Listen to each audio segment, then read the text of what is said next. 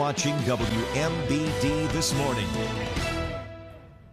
The Peoria, the Peoria Expo Gardens will soon transform into the 2024 Global Fest. And joining us to tell us more about the event are board members Elena Gabor and Whitney Jensen. Good morning. Good morning. Good morning. Glad to have you both here. So, for those who aren't familiar, what is Global Fest? Well, it's all the different cultures coming together under one roof. So imagine traveling the world in one day. I was like, you have on the, I was like, you have on the flight attendant gear here. so what right. cultures are we going to see? Um, let's see here, Chinese. You will have people from Germany, of course, uh, Africa, all over the globe, which is going to make this such a fun event. Yes, absolutely. So what can people expect at this year's Global Fest?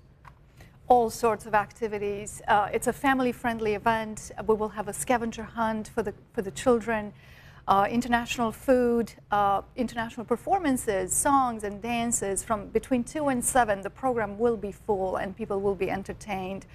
Uh, and the evening ends with an open dance, also with international music.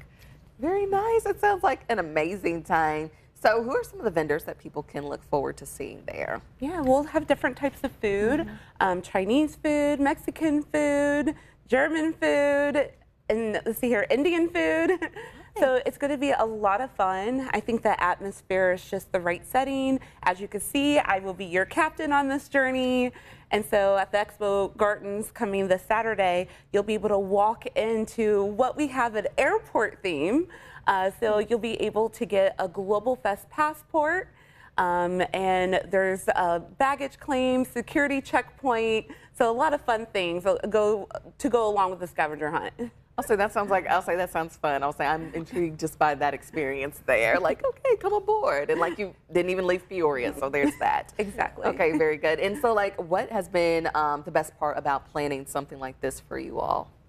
For me personally, it's been working with these wonderful people. We have a team of international members on our board. Um, and it's, it's just wonderful that, that diversity of talents uh, in this team and, and how well we work together and how, how much trust we have among ourselves. Yes, and to have so many people who are passionate about bringing the different cultures together, especially in the Peoria area, um, it, it's surprising how many people are from around the world right here in our hometown. So it's like a big melting pot. yes. Big, big okay. city in a small town. Exactly. Um, and so how can people get involved? Is there tickets? And then can you give us the when and the where? Absolutely. So um, like us on Facebook, Global Fest. Um, so when you go to Global Fest Central Illinois, um, you'll be able to purchase tickets online, um, but you can show up right there at the door. Um, you can grab your passport and uh, you'll be able to go to all the different vendors that will be there.